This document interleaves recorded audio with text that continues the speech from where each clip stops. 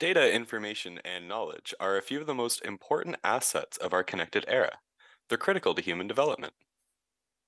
That's why we believe they must be safeguarded, open, and in the hands of the people. But they aren't in the current model, so let's start with that problem. Currently, the Web 2.0 model is centralization. Amazon, Google, Fastly, if any of these fail, and they do occasionally, entire services can go down. As you get decentralized and further and further distributed, your service's resilience increases as the users themselves are what are powering the service. On the right, in the distributed web, each user is also providing a piece of the network itself. If a user goes offline, the network functions as normal. If a major node goes down, the network can still function as well by leveraging the local peers. It is the champion of resilience and the model I believe will take us forward. Breaking free from the centralized client server model means rethinking how the web works as we know it today. So, what's the solution? How do we build a web that is distributed? Well, a key part of IPFS is that it's distributed. IPFS is not the answer to all the problems of the web, but it is the answer to some, particularly when it comes to removing borders and silos for data. Over the course of this workshop, we'll see that IPFS, a peer-to-peer hypermedia protocol for content addressing, is an important building block in this new Web3 generation. Files and folders might sound boring, but really, they're not. So IPFS is the interplanetary file system. What is a file system? Files and folders. Any file with any content. Why interplanetary? Because it was conceived as a way to upgrade the web in a way that would still work when the network stretches across planets. The idea being that if you're sitting on Mars, it may take one hour for a request to go to and come back from Earth. But if that content was already fetched by someone else on Mars, then the request should not travel all the way back to Earth for it. And that feature should be provided transparently by the network protocol rather than by something on top. As we will see, IPFS is distributed by design. No central authoritative servers are storing content, and no central server needs to be contacted in order to obtain the content. Typically, you would upload the content to a server, a location. Anyone wanting to download that content will have to get it from that same location. With IPFS, things are slightly different. In IPFS, you run an application called the IPFS peer, and with it, you become a server, also known as a node in the network. You don't upload content anywhere, but instead add it to your own node and make it discoverable by everyone else. Any content that is published on IPFS uses content addressing, which is a way of referencing a piece of data by its hash. To do this, we'll need to know how to obtain a content identifier. IPFS addresses content by what it is instead of where it is. It enables you to refer to a file or folder via a content ID, regardless of its location. Let's think of the process we follow when we save data. Locally, it just goes on our drive and is addressed there by its path. The web itself is no different. When we open a website, we are just opening some files. The difference is just that they need to be downloaded from a remote location, and we do that using a browser, which will print pretty things on our screens. With IPFS, we're also obtaining files from a remote location.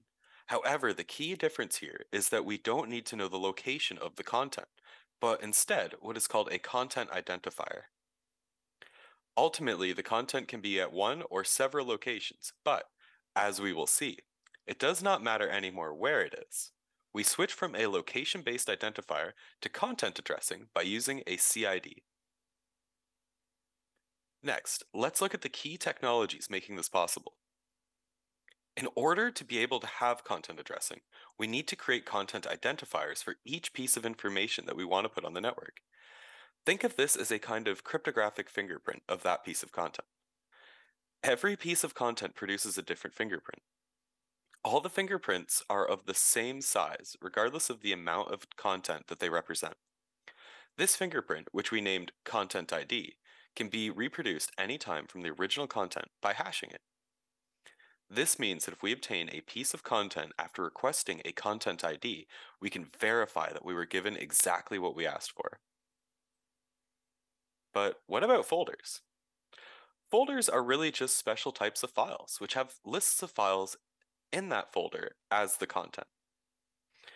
That provides the names of those files and, in the case of IPFS, their CIDs. Since a folder is a type of file, a CID can be obtained in exactly the same way as for any other type of file.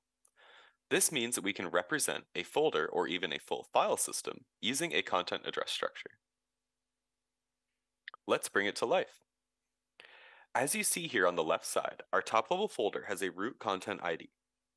Has two entries corresponding to two folders, and those folders have other entries corresponding to files. Each entry has a different fingerprint. That's visualized with the colors here. This content addressed type of graph is what we call Merkle DAGs, also known as directed acyclic graph. These Merkle DAGs used by IPFS allow us to move from location-based addressing to content addressing in a single step. We're just replacing locations with the root CID of their content. The subpaths stay the same. One characteristic of content addressing that I mentioned is that the fingerprints are unique for any type of content. So what would happen if we wanted to copy file.txt to the folder of the second user? It means two things. Firstly, we don't have to actually copy the file. We just have to modify the folder to reference the content. Two copies of the same content have the same identifier, so to IPFS, they are the same thing. There is no notion that the same content can be duplicated in different folders in IPFS because it's actually the same thing with the same CID. We call this property deduplication. Secondly, since we changed a folder, the fingerprint of that folder changed. So we had to update the upper folder too, to reference the new fingerprint. This means that the fingerprint from that folder changed, resulting in a new root CID. The moment something changes, you get a completely different CID. Your previous CID still references your previous version of the content, which has not been changed. The fact that a CID will always represent exactly the same piece of content, unlike a location, unlocks the capacity of doing verification on any piece of data.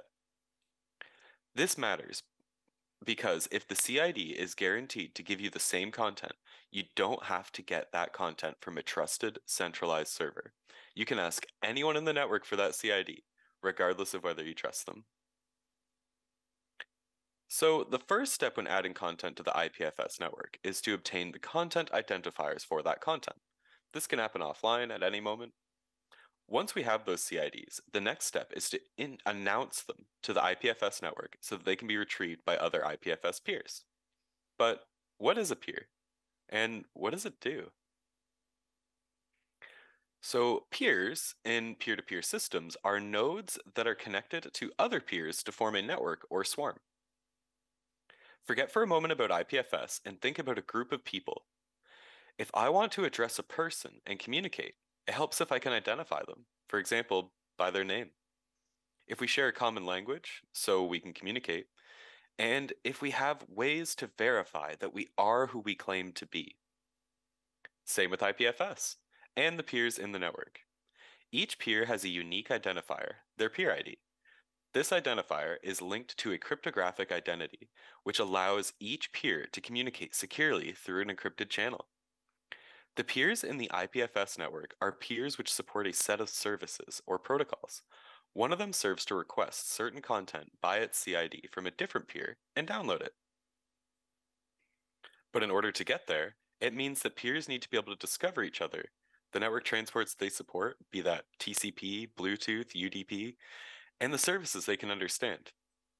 This step is called content and peer routing and is achieved using something called a distributed hash table, also known as a DHT. The DHT, or the distributed hash table, is a critical service that each peer runs. You can think of a distributed hash table like a phone book, except that everybody helps maintain it. It's effectively a series of keys paired to values, kind of like names paired to phone numbers. In order to get the value associated to a key, for example, a content ID, a peer will need to find some other peer that is storing it. The process consists of asking other peers in the network, who has the value for this key? But not in a random fashion. Remember that not every peer is connected to every other peer. peers with certain names, or peer IDs, are more likely to store certain key value pairs. Thus, a peer knows which of the peers it is connected to is most likely to have the value for the key that it's looking for. And if it doesn't have it, it will request information about peers known by the other peer, which are more likely to have it. So now that we have a database which is maintained collectively by all the peers in the system, how does IPFS use it? Simple. When the content is added to IPFS, a peer will insert one row into the DHT. Keys are either content IDs or peer IDs. Peers can add rows to the DHT, declaring A, their peer ID provides specific CIDs, and B, how to connect with their peer ID. Peers can then query the DHT to find which peer ID is providing which content IDs. Peers can also query the DHT to find information how to connect to that peer ID. Publishing this row involves finding a peer ID similar enough to the content ID to store the row. In short, any peer that wants to download some content will have to do two things. First, query the DHT to find which peer ID is providing the content they're looking for. Second, query the DHT again to find information on how to connect to that peer ID. At the end of the DHT queries, a peer knows who has the content it wants and where to get it. So now that we've gone over obtaining a CID, advertising it on the network, and locating content, let's take a brief look at transferring content. The last step to retrieve content in the IPFS is to download it. Because we know how to contact the peer holding the content, and we know what content we want, we can connect, receive, and verify it. This means that any content received through IPFS is authentic and matches the request. Once content is downloaded, the local peer will advertise itself as a provider for that content on the DHT, making it available to other peers for download. The protocol we use to download files is called BitSwap, and also works for quick discovery by asking all other neighbors whether they have the content, for example, if they can't find it in the DHT. While BitSwap is incredible for fast distributed transfers, it's generally only used from an IPFS node. Sometimes you want to share something that's only available over the IPFS network to your friend who might not be using IPFS. Or another scenario might be that you're simply unable to run an IPFS node in the environment you're working in. This is where gateways come into play. Gateways are accessed over HTTP and can be used in any web browser as a result. Effectively, a gateway is just an IPFS node that's set up to serve requested data over HTTP. They're basically a portal into the IPFS world and are more decentralized instead of distributed. For example, if you created an app that just accessed IPFS content over a single gateway and that gateway goes down, then your app is broken until the gateway comes back. Additionally, if you used a malicious gateway, you might not even know that you're receiving the correct data.